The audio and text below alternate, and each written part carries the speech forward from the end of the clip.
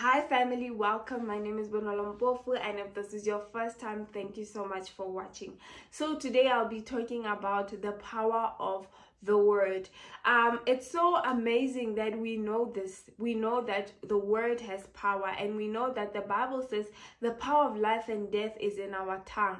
But why do we not reference the word every time we speak? Why is it our words are empty of the word that is so powerful? So today I just wanted us to speak about the power of the word and why everything we say must be backed up by scripture.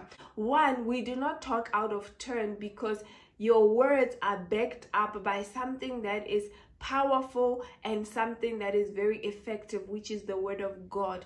So, even the Bible says, do not entertain yourself in sitting among the scoffers or the gossipers because their words they come to nothing. Their gathering of talking it comes to nothing.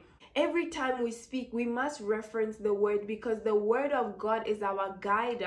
The word of God is filled with the Holy Spirit, that the Holy Spirit guides us to all truth. So, whatever you say, when you say it, be sure that it is backed up by scripture. If you're going to say, say to your friend, I hope you get well soon, you must back it up by scripture by saying, By the stripes of Jesus, you were healed. Therefore, I believe that you have gotten better. If you're wishing someone a happy birthday, then you tell them that he has your name in the palms of his hands. He knows your coming ins and your going out. For you are the child of God. He has plans to prosper you and not to harm you. When you're speaking to someone about things that pertain to the world, find a scripture that you make sure that you are not in the lines of gossiping. You are not in the spaces where you are speaking your own mind. It's just something that has been on my spirit since I'm doing the Bible reading challenge. Please go check it out. I've started with Matthew. We're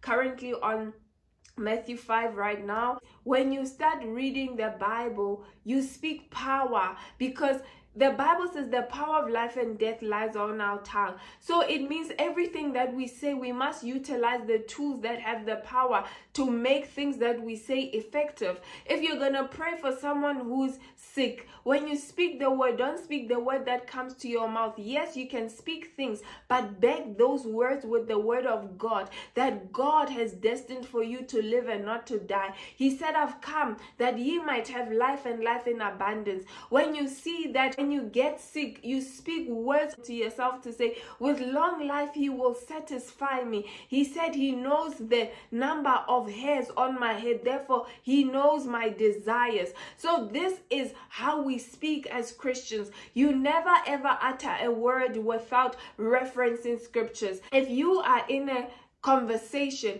you can reference the word of God that you know, the scriptures that you know within your conversation. You don't have to say, and the Bible says, or Matthew says, but use the words of God because the words of God they are sure. The Bible says that the words of God they go out and do what he has said them to do and they never return to him void. So if those words are that powerful as we evangelize that they are, then they should be our daily bread. Then they should be daily on our lips. The Bible said, "Let these words not depart your mouth. Meditate on them day and night." So, family, if we want to be effective Christians, if we want to be Christians that are doing great things for God, let us use His word to back up our words because our words on their own they are void we are just wasting air. But when we speak the word of God, God has blessed his word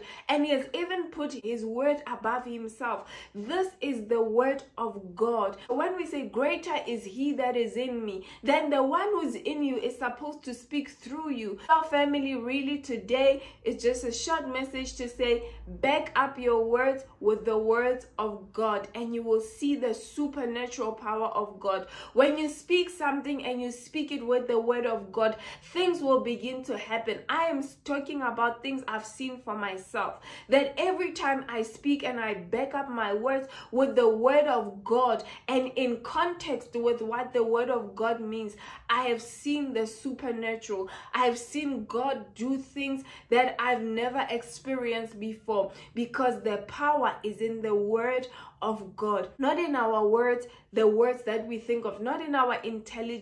The Bible says we should not think anything of ourselves to think that we are self sufficient, but our sufficiency is of God. So the Bible says we are firmly established in righteousness. We are far from even the thought of oppression. How? By speaking this word day and night. Every time you speak, create the habit to back your words up with scripture. Family, with all of that, let us close. Father, in the name of Jesus Christ, I thank you for your word, oh God, and I thank you for your presence in this moment. I thank you, oh God, that you gave us your word, that Mudimwaka, we might show the supernatural heavenly things, Mudimwaka, because your word says, let it be on earth as it is in heaven. And in heaven, my God, it's a heavenly language. And on earth, my Father, we ask, my God, that you give us the grace to speak your word, to back up our words with your scripture in context. Lord, I thank you. In the name of Jesus Christ, we pray. Amen. Love you. Bye.